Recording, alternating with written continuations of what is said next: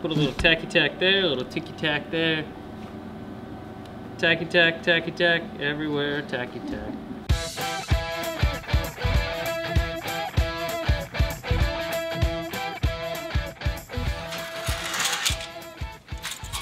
Hey guys, so today we're actually gonna build a stand for this box pan brake. We've had it up on this table for a couple weeks now. Video guys, they're pretty sick of it.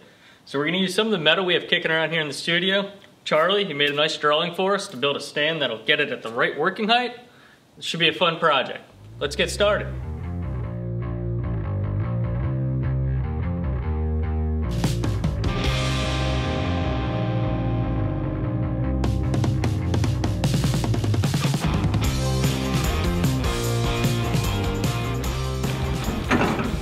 Brought out the big saw.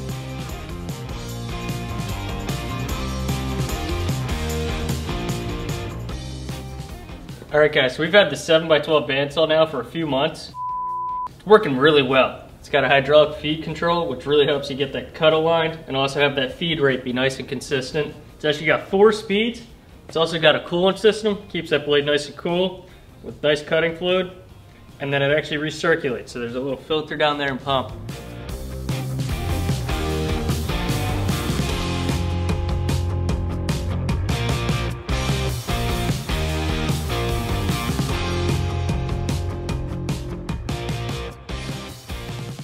Got our scribe line. We're actually gonna lower the hydraulic feed control so there's no resistance so we can drop it down. Now that I can see we're lined up there, our kerf is gonna be right on that scribe line. We're able to put a little more pressure on it. We can get this thing tightened up and cut.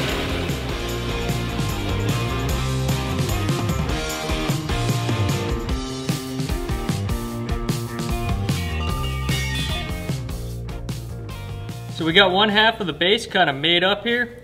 We got a nice long bottom support. This is gonna give plenty of leverage and plenty of support for the box pan brake so you don't tip it over as you're bending. We've got a nice upright here that's gonna kind of follow the lines of the box and pan brake. We got a good vertical support. Once we weld this together, we'll actually have a nice plate here for it to mount to using the provided holes. So now we're gonna start cutting the other side.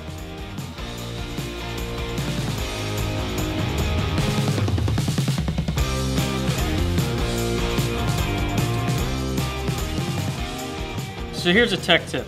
When you're making mitered cuts like this, it's best to set your angle once and make all of your cuts. So we actually cut our one structural support here and our upright. We then also are gonna make the other support from the same cut that we did the first time. And then we know they're actually gonna be the same angle. So that's a nice little tip. Also, while we got it in that setup, we're gonna cut this piece. Then we'll go back, set it up to a 90 degree cut, and make the rest of the cuts we need to do. Cut.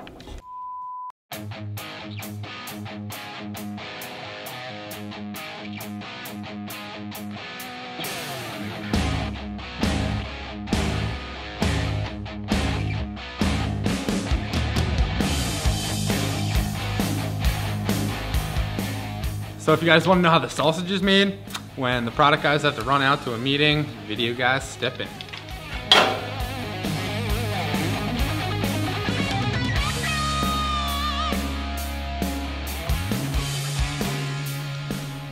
When the video guy has to do something, then we bring in the intern.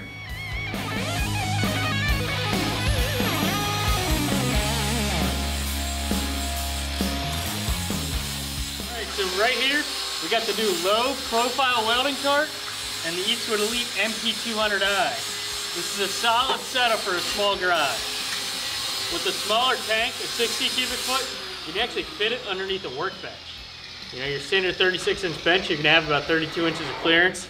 This will actually tuck away underneath. So if you're just an occasional welder, this is perfect for your garage.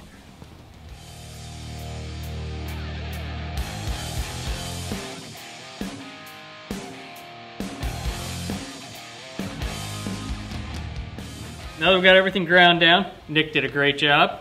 We got it set up here on the table. We're actually gonna use some of our clamps to hold it down in place while we tack.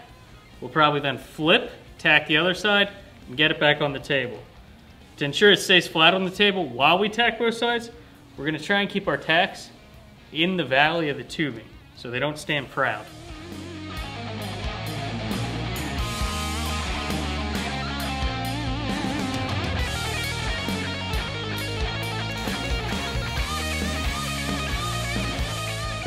Put a little tacky tack there, a little ticky tack there. Tacky tack, tacky tack, everywhere, tacky tack.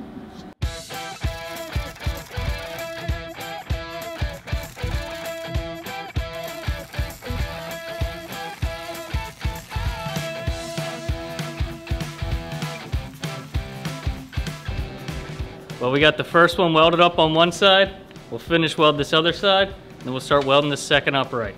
We're gonna have Nick do the welding, because he's about to go into overtime. Let's get going.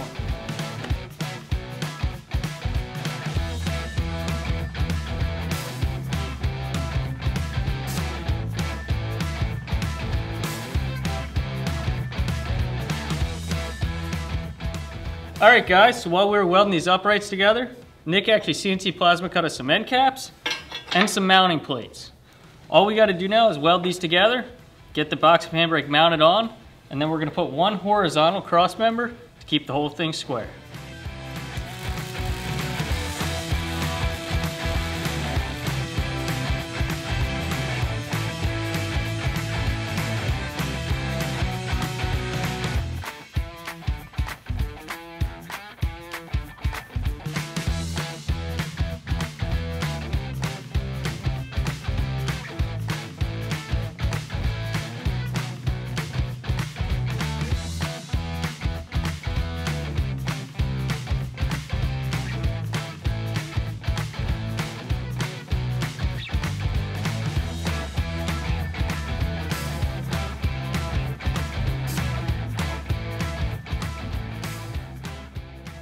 We got everything welded up and it came out great.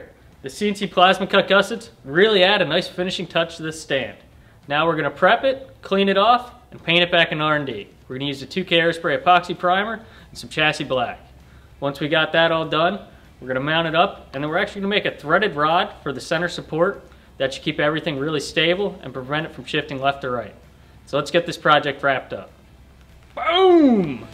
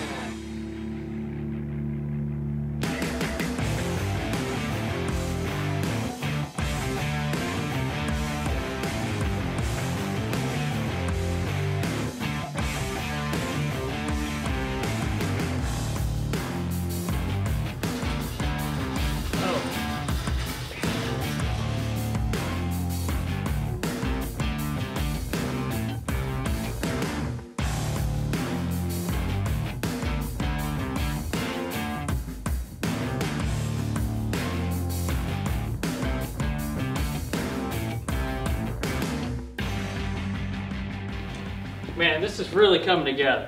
So everything's painted up. We got it mounted here. All we're gonna do is add two supports with some 5 8 inch rod, and that should really help eliminate any of this little bit of rocking we got. This is gonna work great. The height's perfect. Let's do this. In a quarter here, coming down the height of this square. Be able to replicate that on all four sides. It's pretty straightforward. From there, give a little wacky whack with the center punch.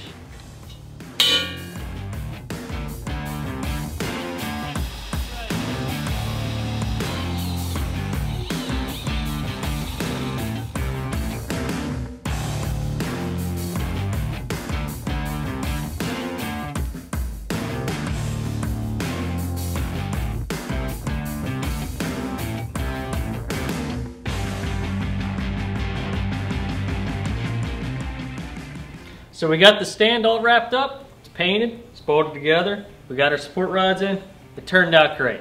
But we're gonna have one more finishing touch. We're actually gonna make a little tray, it's gonna go right here, and that way it'll store all of our fingers when we take them off and do box and pan brake work.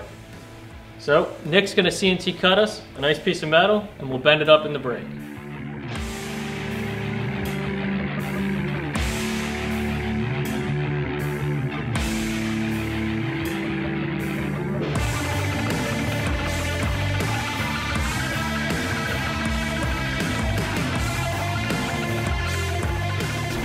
That's a wrap. So Nick, he was able to cut us up a nice piece of sheet metal. This is 18 gauge, so it's a little thick for this box and pan brake when we're doing four feet wide. So we actually made some relief cuts. This is gonna make it easier to bend, and it's also gonna be really easy to lay out because we know exactly where we need to go. So let's bend it up. Now get ourselves a tray. Let's do it.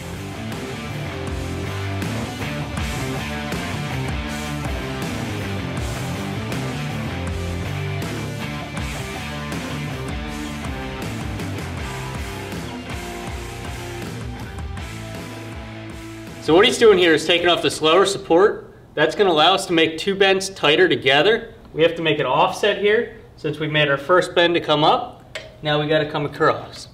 This should be quick, easy, and we make this removable for just this job.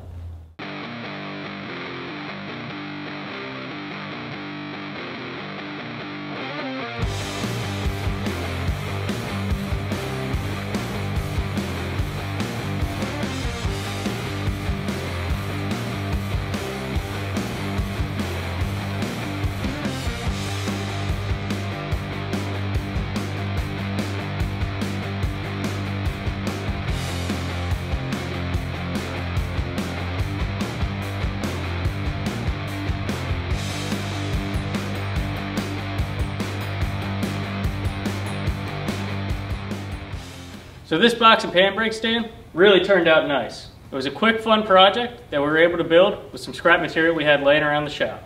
We're gonna be doing some more of these, making useful tools, fun projects here in the studio. And if you got any ideas, leave some comments down below. Maybe we'll build a project.